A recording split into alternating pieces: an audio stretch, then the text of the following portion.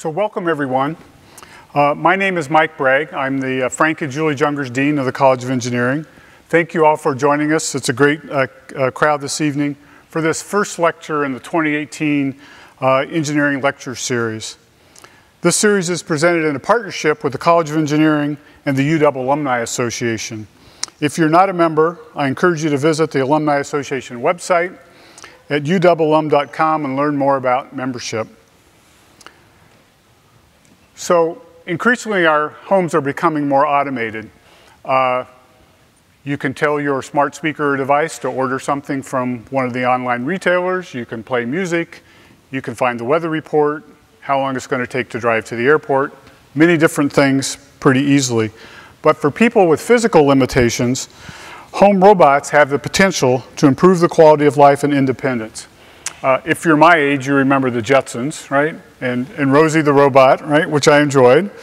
Uh, tonight, one of the foremost roboticists who's working to turn robot butler into reality is with us. Sid Srinivasa joined the UW from Carnegie Mellon in 2017. At UW, he holds, holds the Boeing Endowed Professorship at the Paul G. Allen School of Computer Science and Engineering. He runs the Personal Robotics Lab, which he started in 2005. This is a new term for me. He's a full stack roboticist, which means he designs algorithms and builds end to end systems that integrate machine learning, perception, planning, and control in the real world. I guess that's kind of the whole robot. He's worked with Intel, DARPA, Google, NASA, and other agencies. He's been featured on the BBC and the National Geographic and his robot Herb was seen in the movies and television, opening Oreos, I missed that, and serving sushi on the X-Files. So it's my privilege to introduce Sid for his lecture. Sid?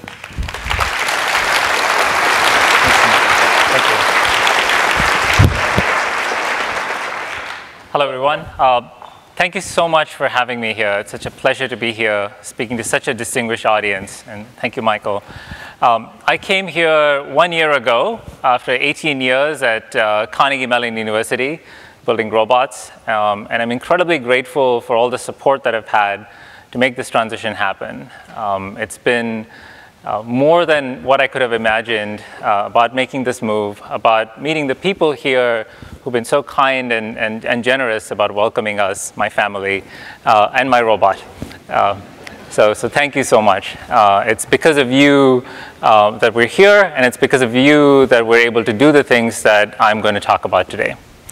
Um, I also want to acknowledge my group. Uh, this was the first picture that we took after we moved to the University of Washington. Uh, it's a, a right before I, I, made my decision to move to, uh, to Seattle, I told my team that I was moving, and I said, if you guys want to come, that would be great. Um, and every single one of them decided to move. Um, it was a great pleasure. Maybe it's Pittsburgh, Seattle, but, uh, but I love Pittsburgh. Um, but um, I, think, uh, I think it's a testament to the way UW um, and Seattle have received us uh, that we're here. Uh, I also brought my robot. So this is Herb, like Michael was saying.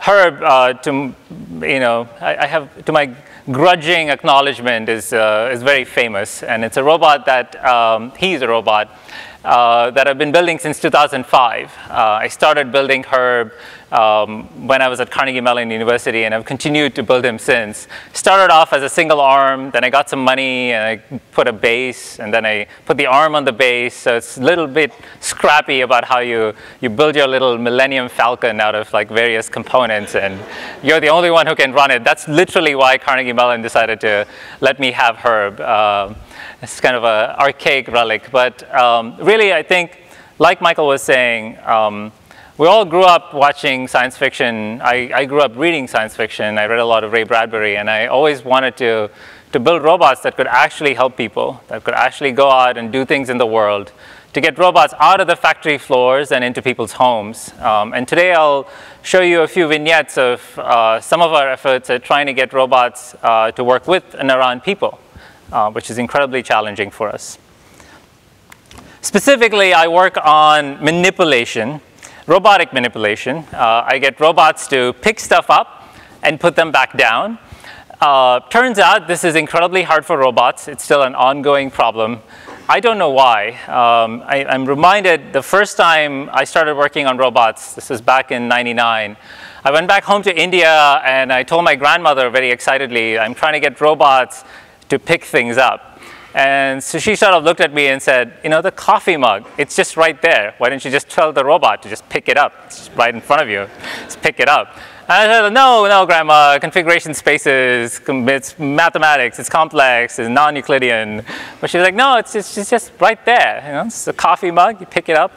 Uh, and to be very honest, I still don't know the answer to my grandmom's question. Um, I, it's, uh, it's magical how effortless we manipulate objects as humans. And it's magical how challenging it is to take that intuition and put that into a robot and turn it into algorithms and theorems such that the robot can do it itself. And that's been sort of the eternal quest of robotics and manipulation is to take human intuition, some things that we do so effortlessly and so easily, and put them into a, a, device, a machine, such that it can think for itself. So in many ways, whenever I build robots, I feel like I'm learning something about myself about humans, about humanity, um, that I'm able to transfer to mathematics and transfer to a robot. So let me give you a, a video uh, of what our robot does. So this is a commercial that we shot for Oreo, like Michael was referencing. Uh, this is Herb in action. And uh, the history of this commercial is that two weeks before they shot this commercial, Oreo called me and said, we want you to separate the cookie from the cream. Apparently, this is a big deal for humans. Uh, and I said, okay, we'll do this completely autonomously. So we build perception algorithms, control algorithms that can actually pull the Oreo apart with the robot's fingernails uh, and, uh, and actually make this happen. Um, and, and the, the, several funny things here. First of all, uh, when we started this, doing this, uh, uh, two weeks, you know, we, had, we only had two weeks, and when we started this, uh, it's going to show again, laugh again. Uh, but uh, we had no idea whether we would succeed. Um, you know, we had built this robot. It was clearly not built to separate Oreos. I could build you a way better machine to separate Oreos. But I think it's a testament to the building blocks of autonomy that we built, of perception, planning, control, learning, that we were able to get this robot to figure out how to do a task that is so human um, in, and, and succeed in just a couple of weeks. Um, and so I think it also turned out that this is such a blessing in disguise because the Oreo is one of the most delicate and sensitive objects that my robot has ever manipulated. And, uh, and it was great. And, and, and the failures were delicious. Uh, and so it was, a, it, was a, it was a huge pleasure doing this. Uh, and I think this lies at the heart of robotics, right? Like you look at Herb and you think, yeah, he's doing something that um, is weirdly different from what a robot is capable of doing. You know, he's not at a factory floor building cars for us. And robots do amazing things when, when they're in environments that are structured for robots. But if you look at my home, uh, it looks nothing like a factory floor as much as we would like it to be. There's clutter, there's uncertainty. And what we're trying to do is to get robots out of the factory floors and into people's homes doing the kinds of things that, that we sort of take for granted all the time. I also say, truth in advertising, this only works about two out of 10 times. Um, so uh, the Oreo problem is still wide open if anyone's interested in funding me on this. I've tried many times, uh, but uh, I did a sort of informal user study with my son, and he succeeds about five out of 10 times, so we're you know, close to human six-year-old skills. Um, so today I'm going to tell you uh, a story. I'm going to give you some of the algorithms that go into building a robot like Herb. By the end of this talk, hopefully you'll have an understanding of what it takes to build a robot that can separate the cookie from the cream two out of 10 times. Um, and, uh, and I'm also excited to tell you about some of our new initiatives of trying to build robots that can actually help people. So sort of going back in time, um, this is actually an incredibly evocative picture uh, for all of us who were worked in computer science and science. This is a picture of uh, Deep Blue uh, beating Gary Kasparov um, in, in chess. Uh, so this happened in the 80s. Uh, so it's very inspiring because uh, here was a robot uh, that beat a human, ostensibly the smartest human to play that game, in a game that was designed for humans, by humans. Um, and this is a, a, great feat of AI. Um, I was a little kid, uh, I just started programming, and I decided that, yes, I'm going to build my own chess playing robot and, and, and do everything. Um, and I think it was, it was also particularly inspiring for me now when I look back at it because, and maybe this is just because I work on this field, here's this robot that's beating the best chess player in the world at something that was designed by, uh, in a game that was designed by humans, but yet it needs a human to move its chess pieces. And so, so maybe, just maybe, the hardest part about playing chess uh, is not thinking 10s or 20 or 50 moves ahead, but actually picking up those delicate pieces and moving them around. Right? Um, of course, that's exactly what I work on. But um, I think it, it, it forces us to think about what's hard for robots and what's not hard for robots and how to bring about a reconciliation between the two. And that's really been a focus of my research, which is to bring about this reconciliation between what robots are really good at sort of geometric search in very, very clean, clean worlds. They play chess better than we do. They play Go better than we do. They build cars better than we do. Well, what we need to do is to resolve how they can address the nitty gritty of the physical world that we live in, right? Our world doesn't look like a beautiful, clean chessboard where the pieces are exactly where you want them to be, the rules are perfectly laid out. Our world is filled with clutter and uncertainty, and that's been a quest of mine is to try to reconcile this world that robots are really used to and familiar with with what they ought to be used to such that they can actually solve real problems for us in the real world. So when I think of manipulation, uh, and I think of the applications that I care about, getting robots to work with us and around us. Manipulation is really not just about a robot acting in isolation, but really robots working with and around us. Uh, if I look around here, this human environments are filled with humans. And there's several ways in which a robot can deal with humans. It can treat humans as obstacles that must be avoided, um, you know, little pieces of furniture that happen to move around. Uh, but that's, that's deeply unsatisfying to me. Right? What I would like is for humans and robots to actually work together um, and, and treat each other as equals. And, and this is actually a, a very evocative example. For me, this is Jacques Pepin, uh, my favorite TV chef. And every once in a while, he gets his daughter, Claudine, um, onto his TV show.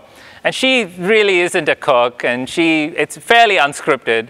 But yet, they seem to have so much fun together like preparing a meal together, right, with each other, you know, with the banter and, the, and, and, and what they are able to perform together.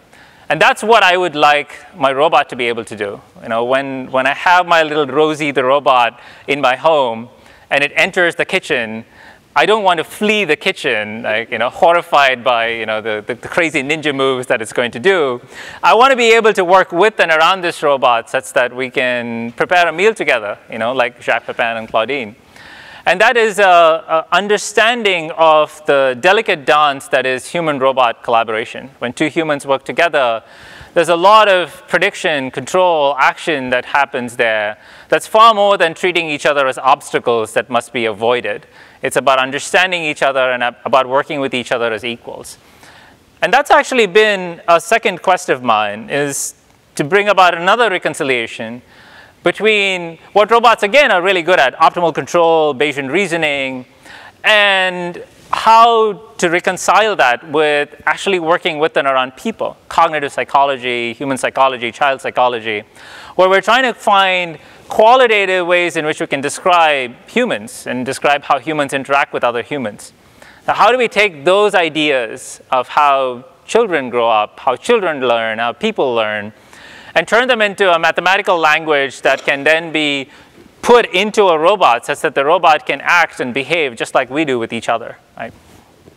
And, and I'll talk a little bit about that too.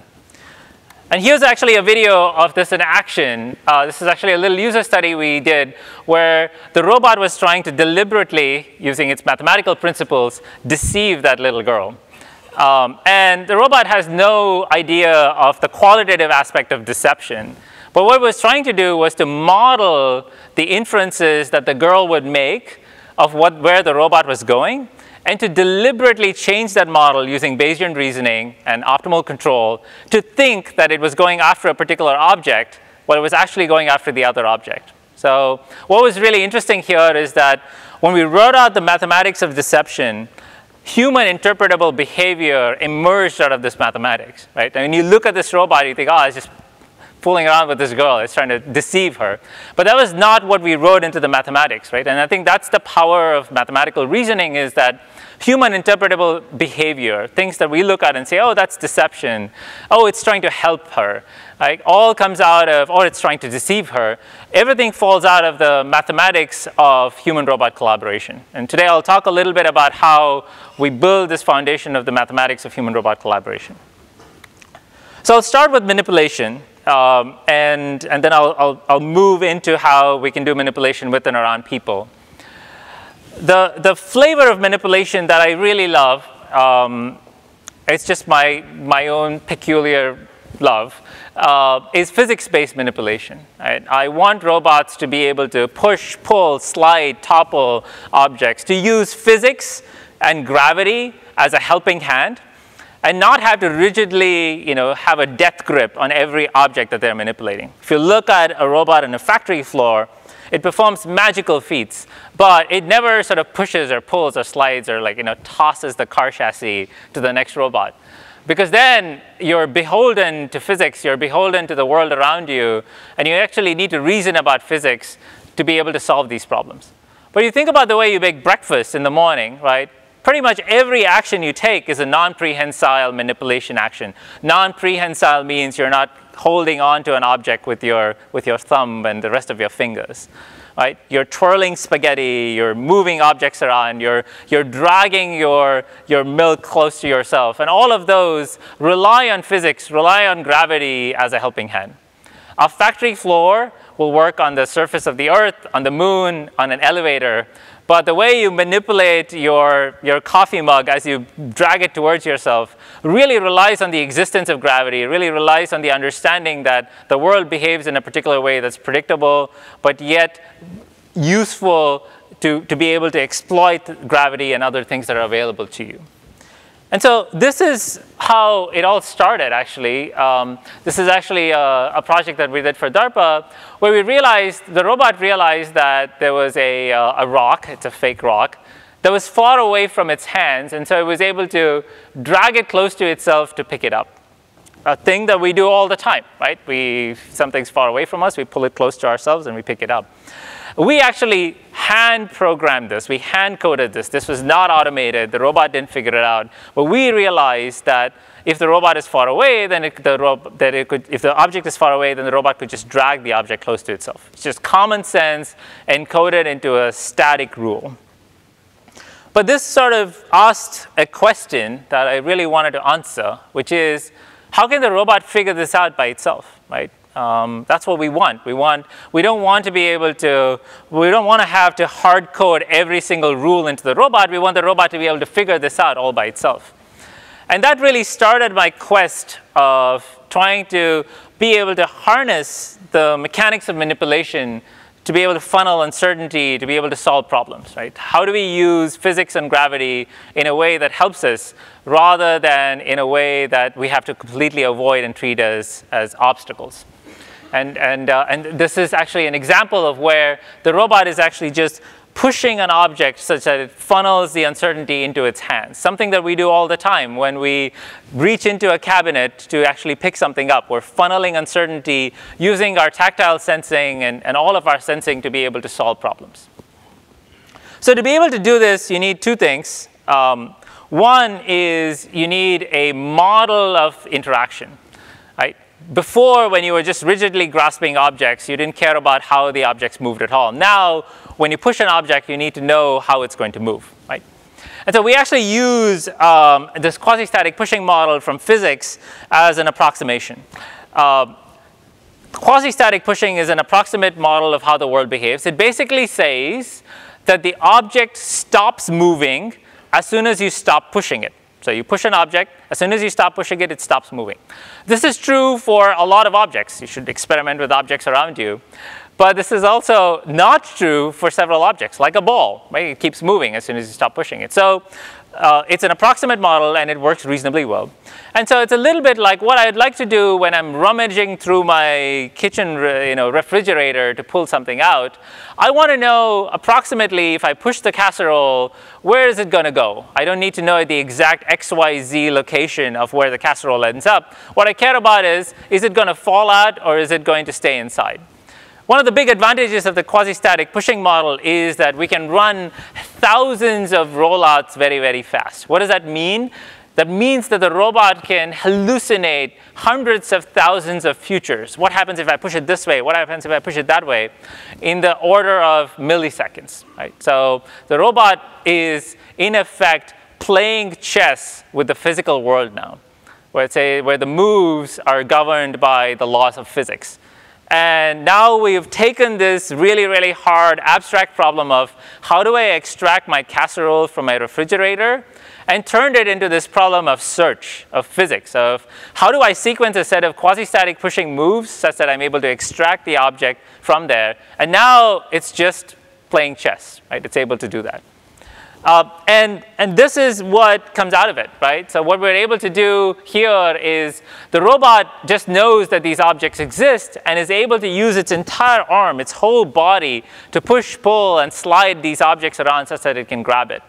And, and it's able to cradle the object in its, uh, you know, in its elbow as it pushes it forward. And the funny thing is that we never told it any of these motions, right? All it did was it saw the world, as a giant game of chess that it needed to play, and it decided, I'm going to solve this problem. And it was able to solve it in the order of seconds. Right? I was actually able to come up with solutions that I had no idea about. Like, it's fascinating watching a robot. You know, just put a bunch of objects in front of a robot, and you watch it, and it does all kinds of things. And some of them are suboptimal, potentially, but that's just how it wants to interact with the world. So this actually is uh, started a whole new paradigm called whole arm manipulation. It sounds really obvious, right? You should use your entire arm to move objects. That's what we do all the time. If you're carrying a bunch of books and you reach a door, you just use your entire body to open the door. But this is shockingly new, surprisingly, for robots because robots always interact with objects with their end effector, their hand.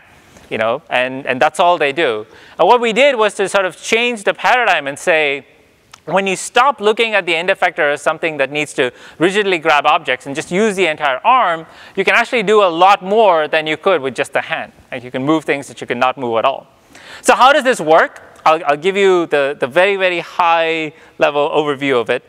The robot searches through the possible world of solutions to be able to go from its start configuration to its goal configuration. And we use what are called rapidly exploring random trees. The robot is doing randomized searches as fast as it can, all of them in parallel. And here what it's doing is that it's grown a search tree where every configuration, every dot in that search tree is a configuration of the world that it has hallucinated. This is all the robot's hallucinations. It's doing tens of thousands of these every second. It, think of it as like a game tree in chess where it's where it's predicting what the opponent will do and it's trying to, to make the right move. And every edge here is a move that it can make. And because we're doing quasi-statically, we can actually do this incredibly quickly.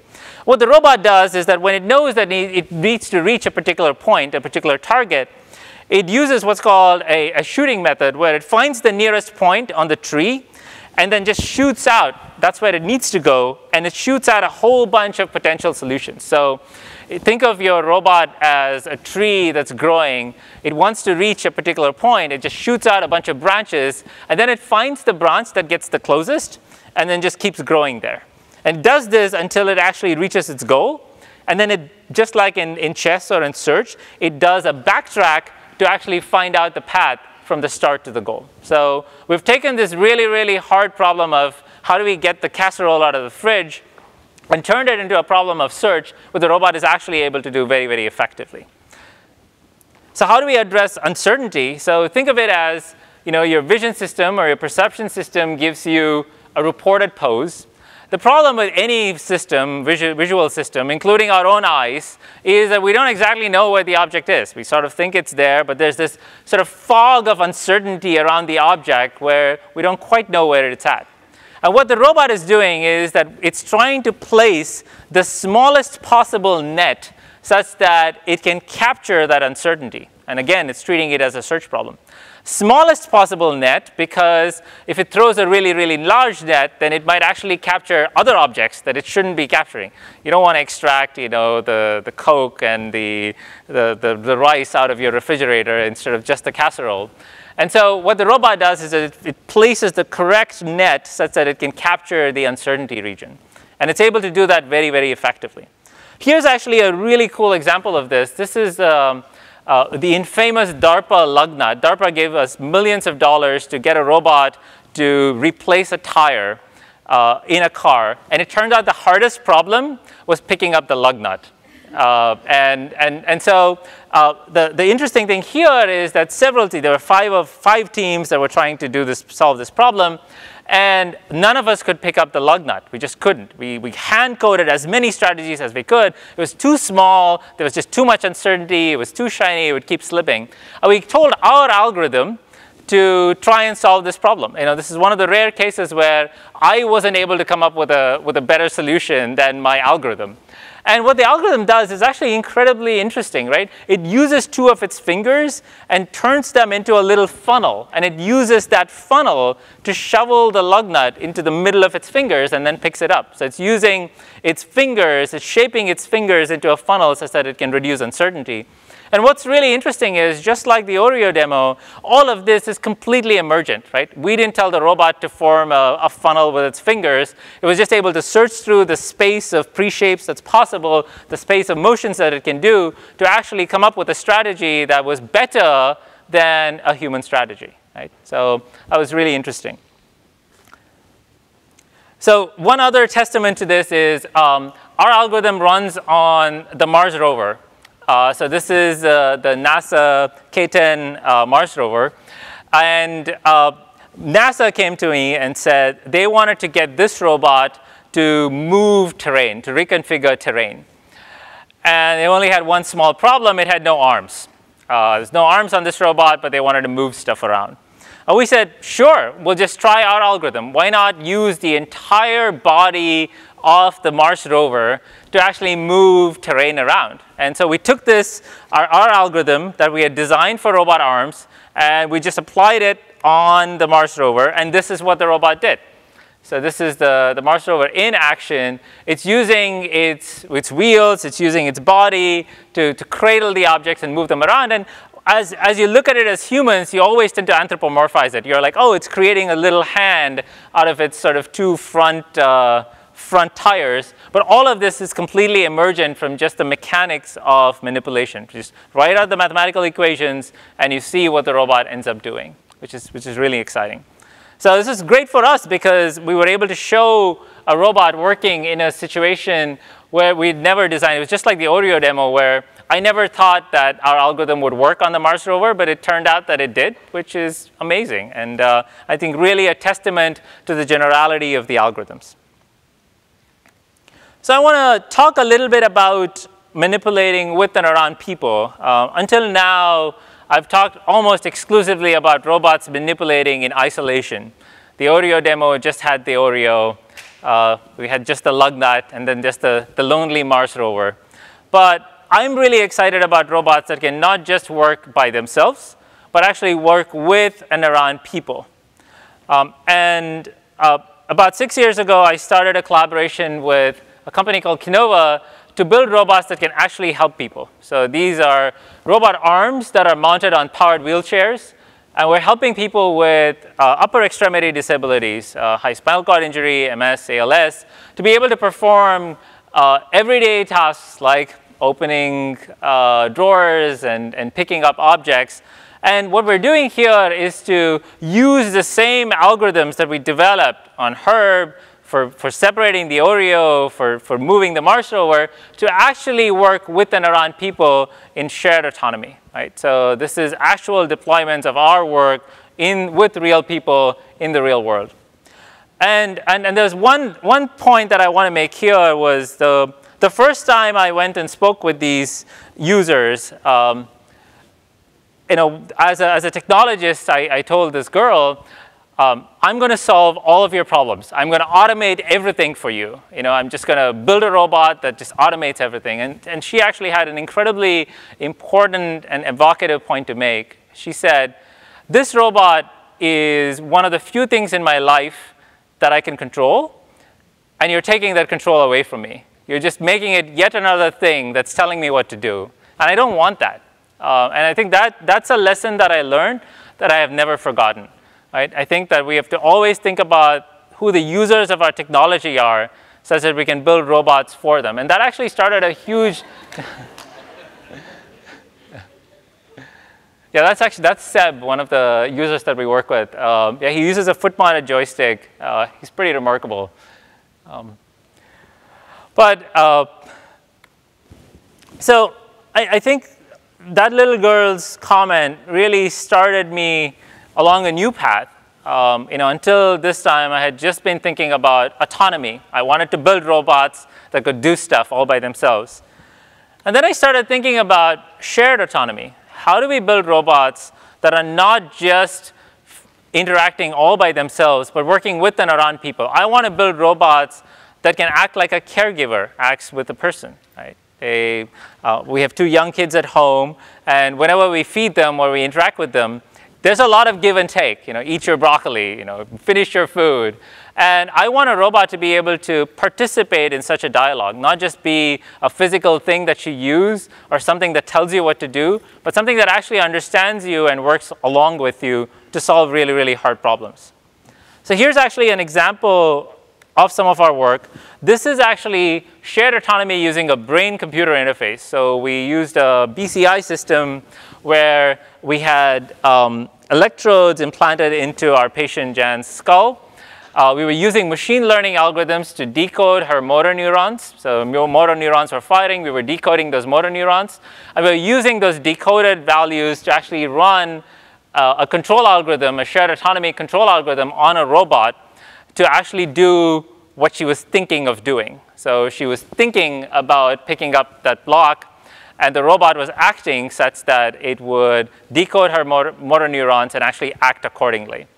Uh, and this is, this is really exciting because what we want to build are interfaces where we can just seamlessly interact with them just like we would with our own limbs. And we work with prosthetic devices that can do this too. And the key here is that there's several interesting things here. One of them is that there is this constant feedback between what she thinks the robot is doing and what the robot is actually doing. So there's positive feedback. And secondly, most importantly, instead of turning our, action, her thoughts into motor, raw motor commands for the robot, what we're doing is actually turning her thoughts into trying to build predictive models of what her intentions might be. So we're trying to decode what she wants to do eventually with the robot rather than what she wants to do immediately with that arm. And that switch in our, in our reasoning has actually enabled us to solve a lot of these problems. So I have a funny story about this. Um, the first time uh, you know, we, we had this running successfully, uh, we wanted to do a big press release, of course. And, um, and so we wanted our, our patient Jan uh, to be able to eat um, a chocolate bar. You know, that's something that she'd never been able to do after her injury.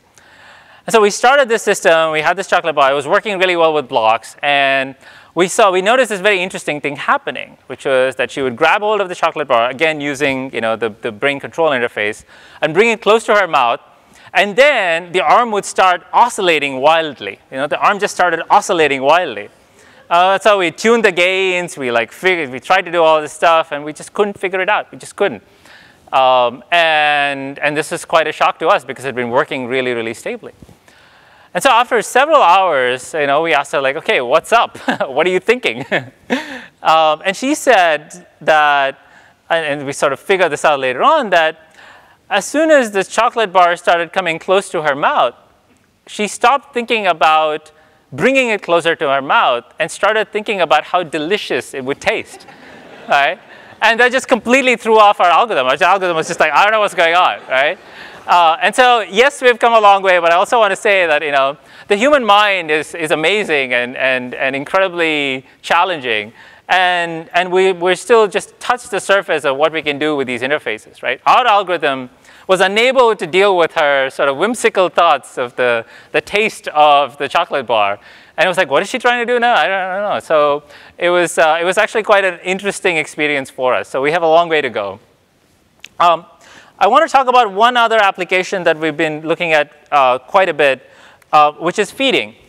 Um, this again came from talking to our users uh, about what they would want. Um, and the number one thing that our users said they wanted was they wanted a robot to be able to they wanted to be able to feed themselves, right? They wanted a robot that could twirl spaghetti, cut chicken, you know, um, pick up a grape, pick up sushi.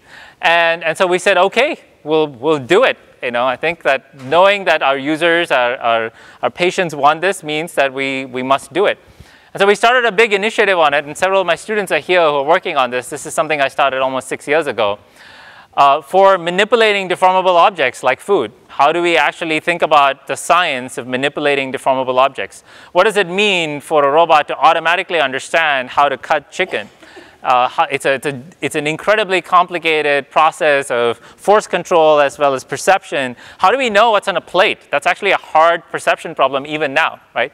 You know, your, your Google image search can recognize a, a bird, a, a cat, uh, but it's very, very hard to recognize what's on a plate. So we, we've, been, we've been working really, really hard with Kinova on this. And, and this is actually one of our first videos that we shot. I don't know if you've been noticing, but um, this robot has been feeding my, this is my PhD student, Laura. She was a few months pregnant when this video was shot.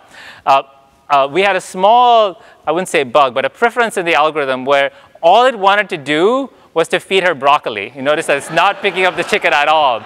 So she's literally eaten about like 50 broccoli by the time this video was shot. And she's like super sick about it.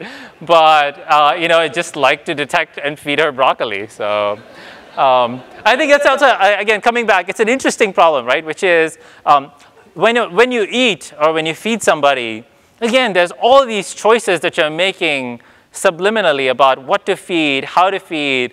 What do you feed after broccoli? Is it the chicken or do you feed more broccoli? Um, how do you, do you mix two things together? And when you mix two foods together, it becomes a new food. I mean, that's just mind-blowing for a computer vision algorithm, right? Uh, and, and all of this is incredibly, incredibly complicated and things that we're trying to address.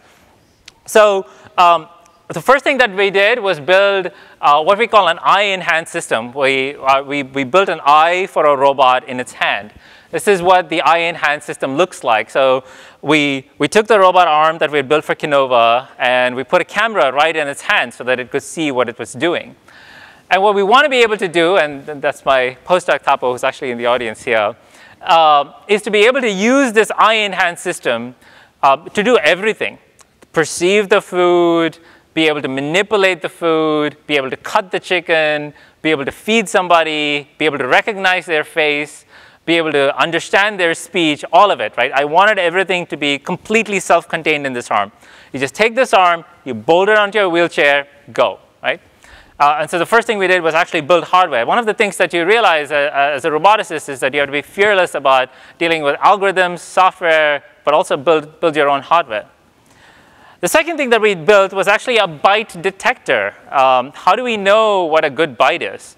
Uh, it's actually a really, really interesting and complicated problem. So we built a supervised learning algorithm. This is actually our, our neural network architecture. One of the interesting things here is not this architecture, but really what helped us a lot was identifying what that plate contained. Um, turns out the way you manipulate various foods, like, you know, whether it's a bell pepper or whether it's egg or whether it's something else that's red, the force with which you act upon it is very, very contextual. Like you, you act on it differently based on what you think it is. If you think it's squishy, then you're going to act on it gently. If you think it's hard, like bell pepper, then you're going to go ahead and stab it. And so just its appearance, that it looks red, is insufficient for you to decide the force profile with which you would act upon it. Like the food, the way we manipulate food is incredibly contextual, right? And so really one of the ways we had to get our learning algorithm to, to understand how to manipulate food was to give it this sort of contextual information. So this is actually our algorithm that's saying that, oh, with 0.87 probability, I know that's bell pepper. That's actually a pretty decent guess, I'd say. Uh, and we were training this algorithm on just real data. So we were training it on data that we get.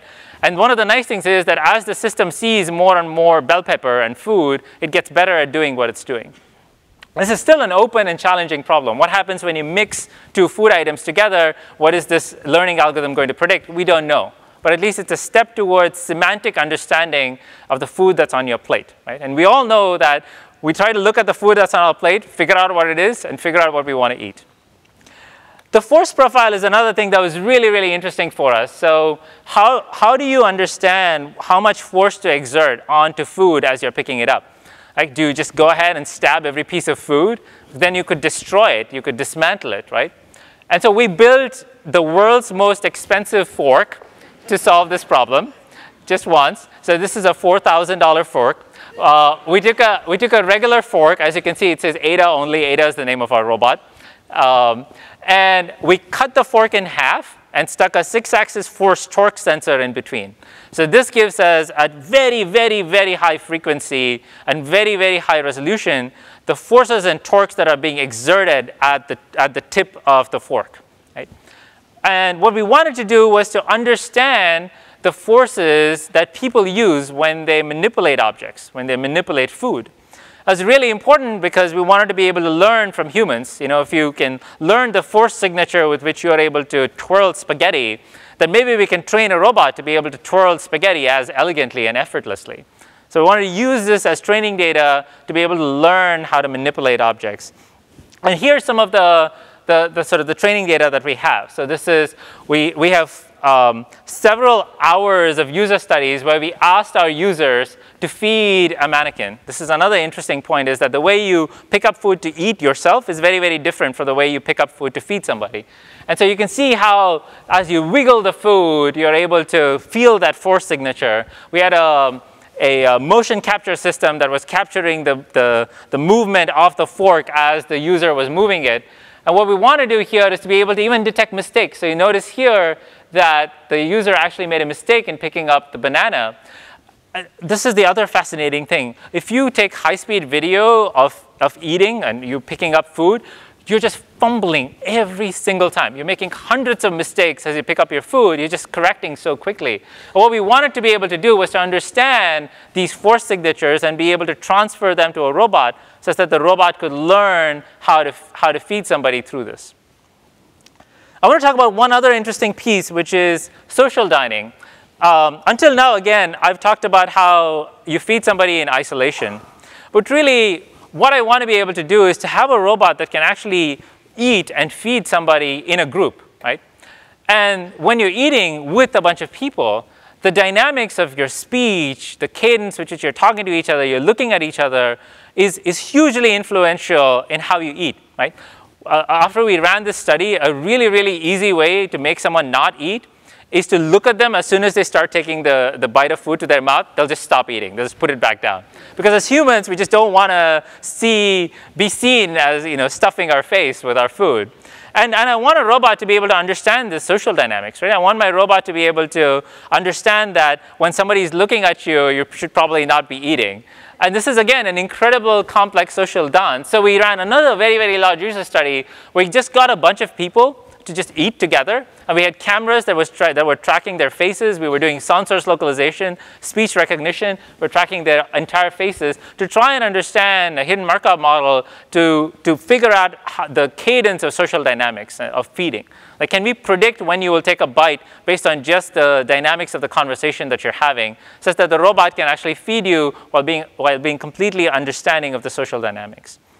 So that's, that's sort of the, um, the you know, the challenges of being able to solve these problems. It's not just about working in isolation. It's about understanding how people eat. It's about understanding the force signatures. It's about understanding how people eat with each other. It's an incredibly complicated problem, but we're really excited to have taken some steps around it. So that's, that's uh, I want to sort of wrap up with, with a few thoughts. Um, I've given you sort of a, a, an overview of manipulation. Um, I still haven't answered my grandmother's question of why it's hard. I don't know the answer to that, but at least we're, we're trying, uh, and we continue to try. And what's really, really important is to understand manipulation with and around people, right? Um, Michael, in his, uh, in his earlier statement, mentioned Rosie the robot. Uh, Rosie the robot was, has been a great inspiration for many of us, right? Uh, the ability to have an autonomous system that can perform complex manipulation tasks. But something we forget sometimes is that the main role that Rosie had in the Jetsons was as a caregiver, to actually care for people. And I think in the glitz and glamour of producing a robot that can like do all kinds of physical manipulation tasks, we forget what its original role was, was to actually build, was to, was to actually care for people. And that's something that I want to continue to emphasize, particularly to the next generation. But we need to always think about the applications of our work, the social good that can come out of it. I want to wrap up with sort of this has been my quest all along, is to really reconcile what robots are really good at, working in, in beautiful, perfect worlds, with what they ought to be good at, which is dealing with the nitty-gritty of, of, physical manipulation. And hopefully you've, you've learned a little bit about, uh, about manipulation and how exciting it is. I want to finally say that it's, it's a great honor to be, to be working uh, on robots with kids.